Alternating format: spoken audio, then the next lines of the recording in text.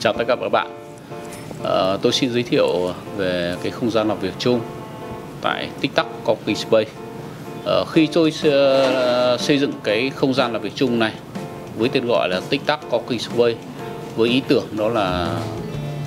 thời gian rất quan trọng với chúng ta. Vì vậy mà chúng ta đừng lãng phí thời gian và hãy nắm từng giây từng phút để chúng ta biến những cái cơ hội thời gian đó thành vàng bạc. Ờ, khi trước khi tôi ờ, xây dựng ờ, uh, Coffee Space TikTok này thì tôi đặt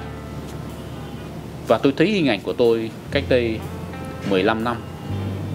Ngày trước khi tôi khởi nghiệp tôi gặp những khó khăn gì tôi vướng mắc như thế nào và những vấn đề gì. Vì vậy mà tôi luôn luôn lấy cái đó làm cái đối tượng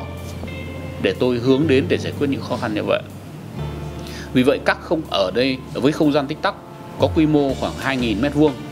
và nó có những cái không gian làm việc chung, làm việc riêng, có những không gian sáng tạo, có những cái ờ, không gian giải trí và đặc biệt là có những cái khu chẳng hạn như khu mini bar uh, rồi uh, phòng ăn riêng biệt như vậy. À, những cái không gian làm việc giống như co-working như TikTok này thì rất phù hợp với các startup bởi vì mấy lý do thứ nhất là các startup là cái giai đoạn đầu tiên của khởi sự một cái doanh nghiệp. Bản chất cũng là để xây dựng một doanh nghiệp. Thì cái chi phí cho không gian cho cái văn phòng làm việc thông thường nó cũng sẽ rất là hạn chế. Cái thứ hai nữa là cái quy mô của một startup nó cũng rất linh hoạt từ một vài người cho đến có thể vài chỉ chục người thôi. Thì nó cũng rất phù hợp với những cái gói uh, trong cái không gian cố kinh này à, về mặt chi phí. Đấy cái thứ hai mà nó phù hợp là trong một cái không gian co-working thì những người làm startup có thể liên kết được với nhau à, tạo ra một cái không gian làm việc chung. Những người cùng một cái ngành nghề hoặc những ngành nghề phụ trợ với nhau ví như co-working như TikTok thì nó có họ có một cái không gian về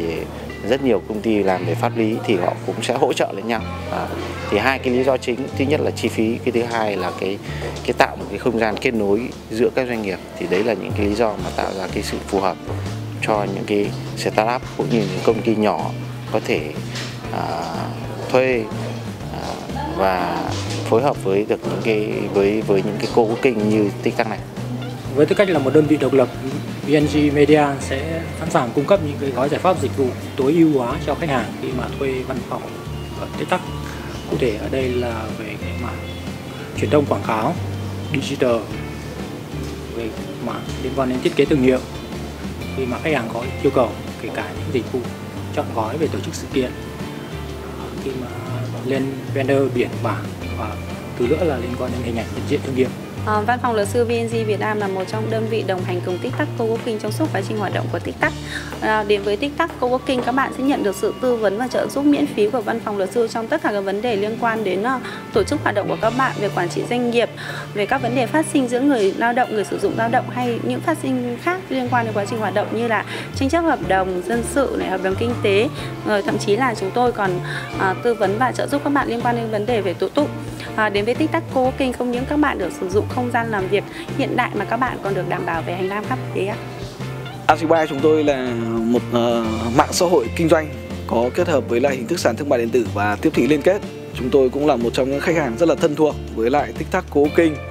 Tôi cũng đã thuê văn phòng ở đây sử dụng thường xuyên các dịch vụ ở đây và cảm thấy rất là hài lòng về cung cách phục vụ cái mức độ chuyên nghiệp cũng như là cái không gian cởi mở của TikTok Co-working Space. Một trong những điểm mà TikTok Co-working mà mang lại được cho Azibai chúng tôi đó chính là một cái không gian mở kết nối với lại cộng đồng với các bạn startup và chúng tôi à, là một trong những nền tảng về mạng xã hội thì cái điều đó đối với lại Azibai chúng tôi là vô cùng quan trọng. Um, tôi cho rằng thì uh, để mà các cái startup mà có thể phát triển được thì nên tận dụng và sử dụng các cái hình thức dịch vụ như là của TikTok Co-working thì ở đấy thì các bạn sẽ có nhiều cái môi trường hơn trong cái vấn đề về giao lưu kết nối cũng như là chia sẻ các cái cơ hội kinh nghiệm uh, trong vấn đề là phát triển cái cái doanh nghiệp riêng của mình.